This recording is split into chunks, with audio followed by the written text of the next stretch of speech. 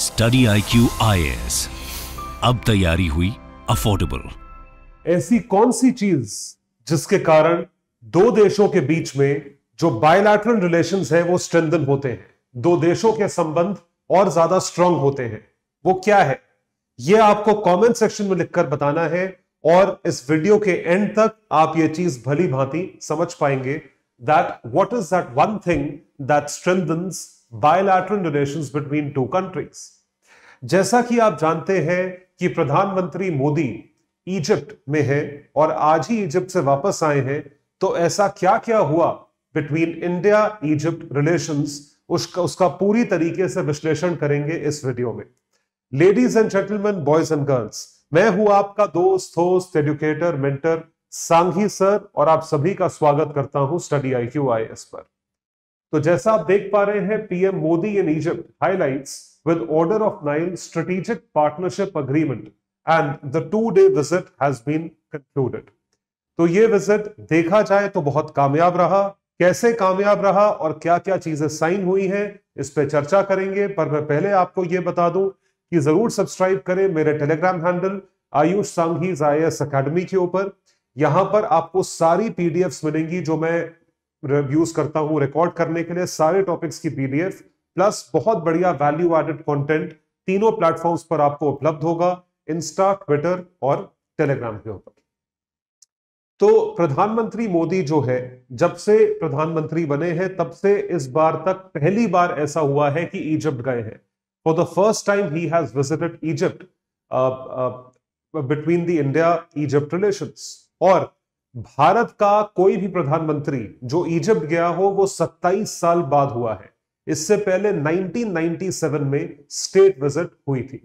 तो जैसा आप देख सकते हैं it was Modi's first visit to Egypt after becoming the prime minister प्रधानमंत्री बनने के बाद।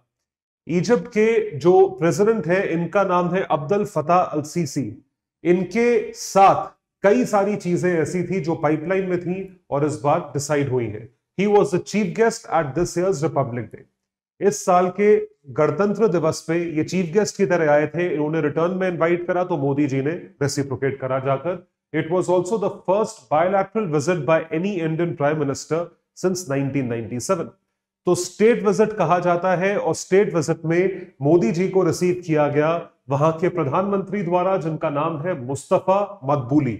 तो मुस्तफ़ा मकबूली साहब खुद पहुँचे थे मोदी जी का स्वागत करने के लिए एयरपोर्ट के ऊपर, जब मोदी जी यूएस से वापसी में इजिप्ट लैंड करे तो ऐसा क्या क्या हुआ? उनके वहाँ पर लैंड करते ही उनको गार्ड ऑफ़ ऑनर से नवाजा गया या गार्ड ऑफ़ ऑनर से उनका वेलकम करा गया upon his arrival, and there was a ceremonial welcome. ये बहुत प्रेस्टिजियस चीज़ मानी जाती है गार्ड ऑफ़ ऑनर से जब किसी का भी वेलकम किया जाता है। गार्ड ऑफ़ ऑनर देखने के लिए लोग कई, जो टूरिस्ट होते हैं, आप और हम जैसे लोग देखने के लिए जाते हैं अलग अलग जगह पे बकिंगम पैलेस में होता है इसराइल में होता है यूएस में वॉशिंगटन डीसी में जो है वो मेमोरियल्स के बाहर होता है। सिमिलरली यहाँ पर इनके लिए स्पेशली वो चीज़ एयरपोर्ट पे करी गई। तो दोनों देशों के बीच में क्या क्या चीज़ें डिसाइड हुई, उसके क्या क्या हाइलाइट्स हैं ओवरऑल आपको चीज़ें बताते हैं। फिर जो चीज़ें एग्जामिनेशन स्पेसिफिक इंपॉर्टेंट है, वो आपको विस्तार में बताई जाएगी। So the highlights between both the heads of the state and this visit क्या क्या था? एक तो सबसे पहली चीज़ है, जो कि हमने हेडलाइन में भी देखी, वो है स्ट्रेटेजिक पार्टनरशिप को एक लेवल से आगे बढ़ाया गया। कैसे बढ़ाया गया? उसमें क्या क्या चीज़ें ऐड हुई? ऐसे कौन से अग्रीमेंट्स है जो ऐड हुए? That is something that we will discuss visit pyramids आप इजिप्ट गए और पिरामिड्स नहीं देखा। ये तो वही बात हो गई कि दिल्ली आए और इंडिया गेट नहीं देखा। तो गीजा गए।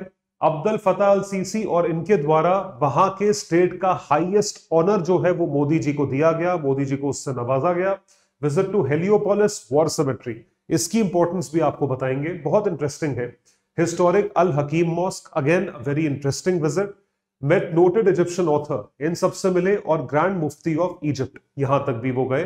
So these were the things that happened सबसे पहली जो इंपॉर्टेंट चीज़ है, वो है दोनों देशों के बीच में एक संगठन। एक संगठित तरीके से आप आगे बढ़ेंगे, जिसको कहा जाता है स्ट्रेटेजिक पार्टनरशिप तो स्ट्रेटेजिक पार्टनरशिप जो है, वो सेट हुई और स्ट्रेटेजिक पार्टनरशिप में उन सारी चीज़ों पे अग्रीमेंट साइन हुए जिसपे आज तक काम नहीं हुआ था। तो ऐसा क्या हुआ? What all was decided in this visit let's have a look तो पार्टनरशिप डॉक्यूमेंट में जिसमें कई सारी चीज़ें आई multiple things were included political and security cooperation एक की चीज़ है नेशनल सिक्योरिटी हमेशा याद रखिएगा, दो देशों के बीच में जब भी बायोलैटरल टॉक्स होती हैं, वो कुछ दो तीन इंपॉर्टेंट मुद्दों पर होती हैं, बाकी सारे मुद्दे जो हैं, वो एंसिलरी या सपोर्टिंग होते हैं। उसमें से जो पहले या सबसे इंपॉर्टेंट दो मुद्दे होते हैं पहला होता है इकोनॉमिक टाइज यानी कि आर्थिक स्थिति के बेसिस पे आप कैसे इकट्ठे आते हो। और दूसरा होता है security cooperation so political and security cooperation followed by that is defence collaboration defence collaboration between both the countries trade and investment ties जैसा मैंने आपको बताया इकोनॉमिक टाइज तो इकोनॉमिक टाइज किस पे डिपेंड करता है? ट्रेड पे, यानी व्यापार पे खरीदने बेचने पे। साइंटिफिक एंड एकेडमिक एक्सचेंजेस इस चीज़ पे एलिवेट हुआ।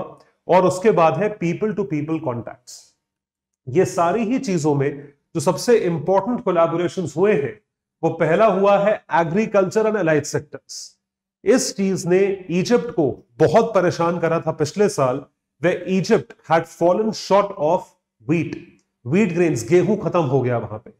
भारत ने इमीडिएट तौर पे, जब भारत ने वीट के एक्सपोर्ट्स बैन करे होंगे, शायद आपको याद होगा लास्ट ईयर हमने इजिप्ट को इमीडिएट इमरजेंसी तौर पे एसओएस तौर पे, जो है इजिप्ट फ़ूड ग्रेन्स भेजे थे।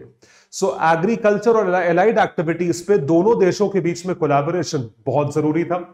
फिर है protection and preservation of monuments जैसा मैंने आपको बताया था, इसी टाइप का अग्रीमेंट जो है, वो साइन हुआ है यूएस के साथ भी, जहाँ मोदी जी परसों थे। उनके साथ साइन हुआ है, इस तरीके से साइन हुआ है कि जितने आर्टिफैक्ट्स और जितनी भी चीज़ें भारत से अलग अलग किस्म से इलीगली जो है ट्रैफ़िक करी गई है, उनको भारत को लौटाया जाए। तो एक तो ये चीज़ है और दूसरा मॉन्यूमेंट्स एंड आर्कियोलॉजिकल साइट्स को प्रिजर्व करा जाए। So we would learn from each other and the last is competition law so Modi and El Sisi discussed further cooperation जहाँ पे मोदी जी ने जी ट्वेंटी यानी ग्रुप ऑफ़ ट्वेंटी समिट में, जो नवंबर में होने वाला है, उसके लिए उनको यहाँ पर इनवाइट करा था। फ़ूड एंड एनर्जी इनसिक्योरिटी ये चीज़ डिस्कस होगी। खाने पीने की पूरी दुनिया में बहुत किल्लत है। उस चीज़ को लेकर डिस्कशन होगा और कैसे खाने पीने का प्रोडक्शन बढ़ाया जाए और दुनिया को food secure food secure globe या लैंड बनाया जाए। ये चीज़ आपको बता दें ह्यूमन डेवलपमेंट इंडेक्स का भी पार्ट है. It is one of the S D G sustainable development goal as well as it also forms a part of human development index climate change and the need for global south to have a concerted voice यानी कि इकट्ठे एक आवाज़ होनी चाहिए. Prime Minister extended an invitation to LCC to attend the G20 summit in, summit in New Delhi in September. तो ये चीज़ थी स्ट्रेटेजिक पार्टनरशिप का एलिवेशन जो कि आपको ध्यान रखना है. कि किन किन चीज़ों पे अग्रीमेंट्स जो है वो साइन किए गए। दूसरा था उनके राष्ट्रपति द्वारा मोदी जी को नवाजा गया order of Nile order of Nile जो है हाईएस्ट स्टेट ऑनर होता है, जो कि सिर्फ़ और सिर्फ़ कुछ ही लोगों को हेड ऑफ़ स्टेट्स को प्रिंस को, राजा महाराजाओं को दिया जाता है। तो जब इनको मिला तो मोदी जी के द्वारा किया गया tweet it is with great humility that I accept the order of the Nile I thank the government and people of Egypt for this honor. It indicates the warmth and affection they have towards people of India and the people of this nation. So order of Nile के बारे में अगर आपको बताया जाए it is conferred upon the head of states जो head of states है उनके ऊपर crown prince VP who offer Egypt or humanity invaluable services जो वाइस प्रेसिडेंट्स होते हैं मतलब वो हेड ऑफ़ द स्टेट्स हो गए एक तरीके से ह्यूमैनिटी इंसानियत के लिए सर्विसेज़ को ऑफ़र करते हैं this is the highest state honour conferred upon the prime minister Modi ये तेरवा ऑनर है। बाकी सारे ऑनर्स की भी लिस्ट यहाँ पे दी हुई है। आप बाद में देख सकते हैं इसी पीडीएफ को डाउनलोड करके। So I given the list of all the state honours which have been conferred upon the our prime minister आप इसकी लिस्ट बाद में देख सकते हैं राइट आइए आगे बढ़ते हैं और देखते हैं कि मोदी जी गए हीलियोपोलिस जो कि एक वॉर सिमेट्री है। He visited Heliopolis war cemetery इसकी इंपॉर्टेंस जो है, वो जानना आप लोगों के लिए बहुत ज़रूरी है और ये काफ़ी इंटरेस्टिंग है। So his visit tribute to the brave soldiers of India भारतीय सोल्जर्स के लिए सिमेट्री यानी कि जो एक ग्रेवयार्ड है, वो बनाया गया है कहाँ पर? इजिप्ट में। क्यों बनाया गया है? इसके लिए दो चीज़ों की इंपॉर्टेंस आपके लिए जानना बहुत ज़रूरी है। ये है cemetery this is a graveyard he offer tributes to the Indian soldiers who fought and laid down their lives in Egypt at the time of the first world war जो पहला वर्ल्ड वॉर हुआ था, उस time पे भारतीय soldiers जो है, वो इजिप्ट की तरफ़ से या वहाँ पे लड़ रहे थे दूसरे देशों की तरफ़ कैसे के साथ। तो वहाँ पर जितने भी सोल्जर्स ने अपने जान की आहुति दी, जो मार्टर हुए, जो शहीद हुए, उनको वहीं दफनाया गया। तो उनको जो है प्राइम मिनिस्टर ने ट्रिब्यूट दिया। This is what the prime minister did sign the visitors book at the cemetery that comprises of the Heliopolis जहाँ पे पोर्ट ट्यूफिक जो है, वो है पहला हेलियोपोलिस, जहाँ पे है memorial and the Heliopolis Aden memorial दो मेमोरियल है, दोनों मेमोरियल्स में इन्होंने स्टेट विज़िट करी। तो पोर्ट ट्यूफिक मेमोरियल है commemorates 4000 Indian soldiers who died fighting in Egypt and Palestine in the first world war Egypt और फिलिस्तीन के पहले फ़र्स्ट वर्ल्ड जो पहले वर्ल्ड वॉर में जो है, यहाँ पर इनको जो है, उन्होंने श्रद्धांजलि दी। उसके बाद Aden memorial pays tribute to more than 600 men of the Commonwealth forces who sacrificed their lives for Aden during the First World War.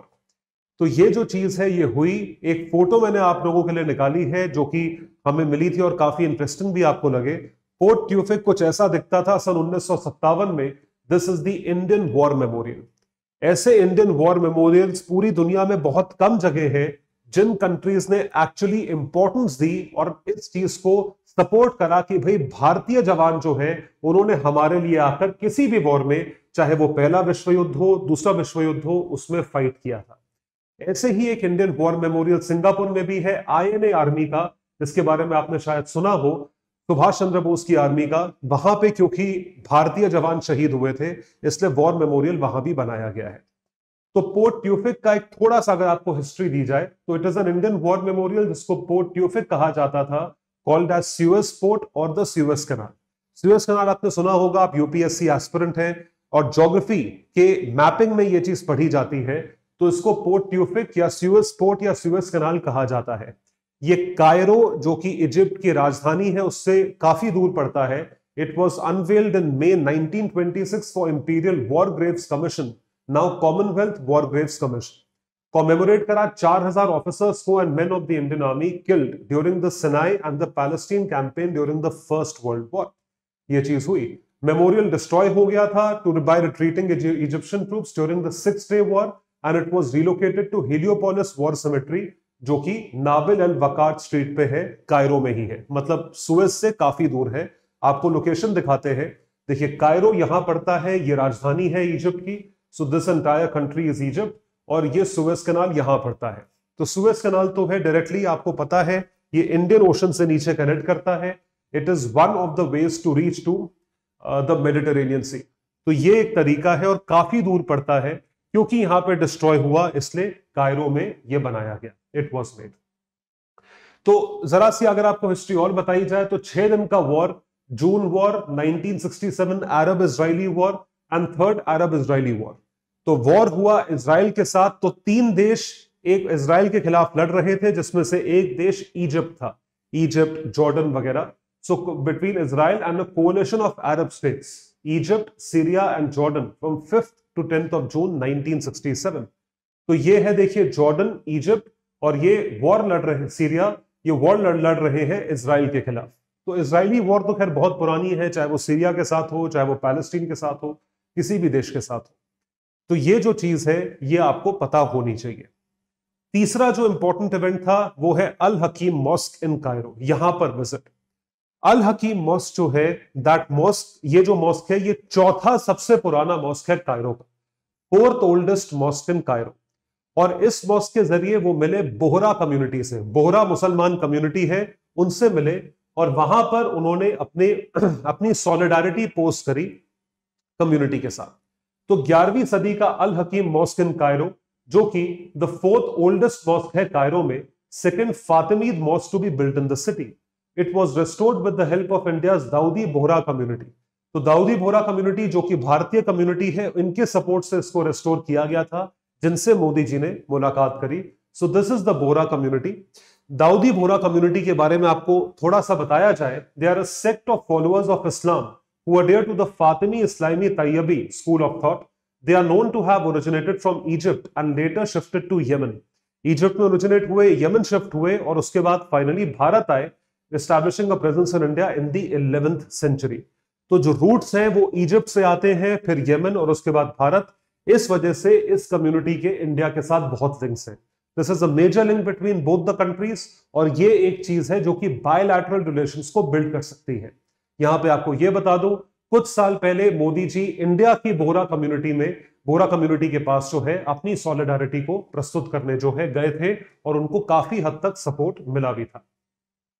And last but not the least भाई आप इजिप्ट गए हो तो पिरामिड्स तो देखोगे, सबसे सुंदर जो है वो पिरामिडल कम्युनिटी है या पिरामिडल इंफ्रास्ट्रक्चर है, जो वहाँ का बेस्ट टूरिस्ट साइट है और सबसे बढ़िया अट्रैक्टिंग डेस्टिनेशन है। This is one of the most popular attraction of Egypt in fact इसी को देखने के लिए टूरिस्ट जो है, वो इजिप्ट तक जाते हैं।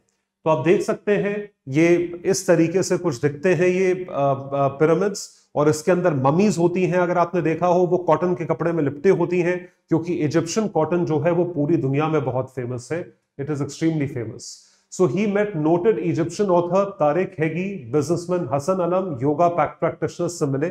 इन लोगों से मीटिंग करी और again they discussed about global affairs और जब मिला जाता है तो दस चीज़ें डिस्कस करी जाती हैं।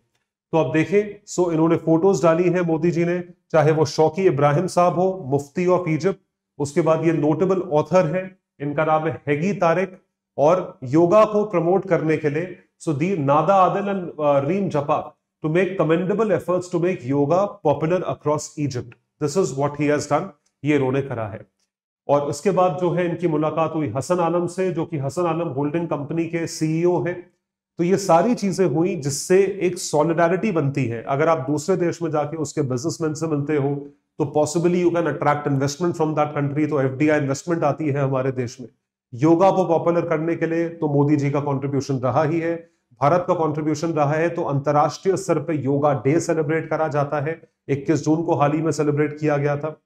तो ये सारी चीज़ें हैं ये इंडिया की पोजीशन को अंतरराष्ट्रीय स्तर पे स्ट्रॉन्ग करती है फिर आता है bilateral relationship talks between both the countries जो दोनों देशों के बीच में संबंध है it has been an operation since March 1978 and is based on the MFN clause, most favored nation clause. India was Egypt's fifth largest trading partner in the period. पिछले साल अप्रैल से दिसंबर तक इजिप्ट जो है वो पांचवा सबसे बड़ा व्यापार का पार्टनर था it was the eleventh largest importer of Egyptian goods fifth largest exporter to Egypt during the same time पांचवा सबसे बड़ा एक्सपोर्टर था इजिप्ट को उसी दौरान, उसी टाइम पे.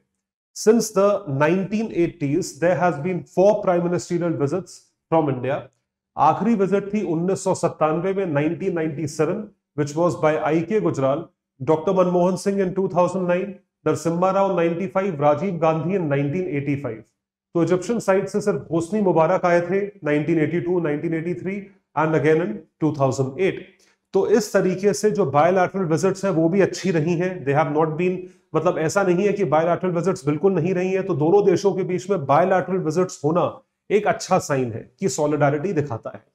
जैसा मैंने आपको बताया कि स्ट्रेटेजिक पार्टनरशिप को अपग्रेड करा गया है कैसे? 14 April 2022 Egyptian cabinet announce the inclusion of India in the list of accredited countries which can supply wheat to Egypt ये एक बहुत महत्वपूर्ण मुद्दा है। देखिए, आप वैसे सौ चीज़ों का ट्रेड करें, लेकिन जब एक देश को जिस चीज़ की सबसे ज़्यादा ज़रूरत है एसओएस बेसिस पे, यानी इमरजेंसी है कि खाना नहीं आया तो भूखे मर जाएँगे, उस दौरान इंडिया ने वीट एक्सपोर्ट्स को बैन करा था, लेकिन तब भी सपोर्ट करा, ये एक बहुत बड़ी बात है। Thus ending a long pending non tariff barrier tariff barrier का मतलब होता है टैक्सेस टैक्सेस या राशनिंग वो चीज़ खत्म कर दी। India cleared a shipment of 61,500 metric tons of wheat to Egypt last year 2022 में। तो ये सॉलिडारिटी दिखाता है क्यों हमारे रिलेशन अपग्रेड नहीं होंगे? ऑब्वियसली अपग्रेड होंगे।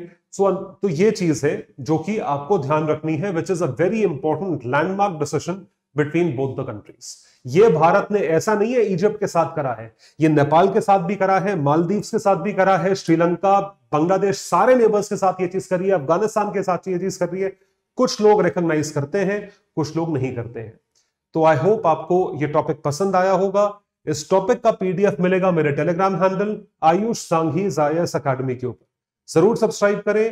That would be all thank you so much bye everyone take care and all the best study I Q आई अब तैयारी हुई अफोर्डेबल